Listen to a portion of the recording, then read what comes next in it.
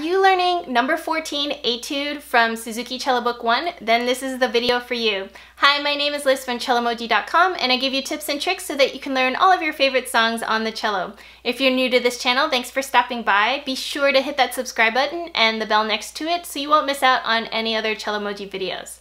So this song is part of my slow play series where I play through the song nice and slow so that you can hear the pitches and the rhythms and how they fit together with the accompaniment. So I'm purposely playing through this song a little bit slower where the quarter note is going to equal 51. Um, keep in mind this is not the final tempo and when you are ready to perform this song, make sure you are increasing the speed until it is at the proper tempo. I encourage you to really work with a metronome on this one. It is really easy to either like take too much time or to rush through certain sections in this song. So having a metronome will really help you keep track of what speed you should be at, whether it is at the slow tempo or whether it's at the final tempo. If you notice, there are no sharps or flats in the key signature, so that is the key of C major. So here you can actually play your C major two octave scales, and I reviewed that in a video that I'll link up above and below.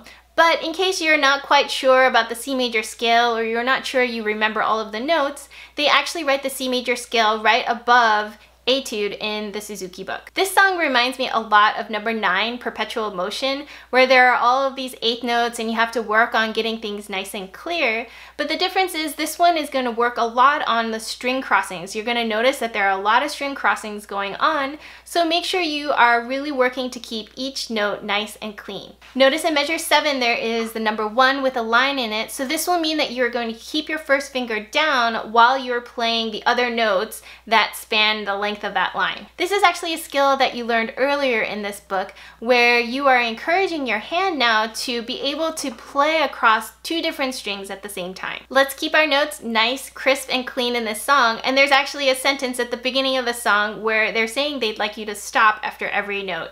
I think what this means is, in other words, the eighth notes are just not going to be mushy and you're just going to want to keep everything nice and crisp. So in this playthrough, I will play through the single notes and then I'll play through the double notes right after that. All right, here we go.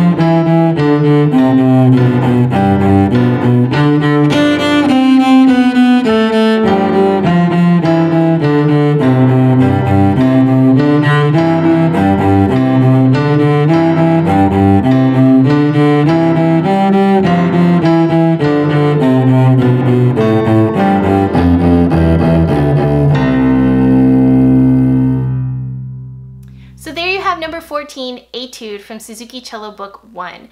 If there are any questions that I haven't answered in this video, be sure to leave them in the comments below. And give me a thumbs up if you're a fan of this slow play series, and let me know if there's some other songs that you would like to see. Thanks again for watching and I'll see you guys in the next video. Bye!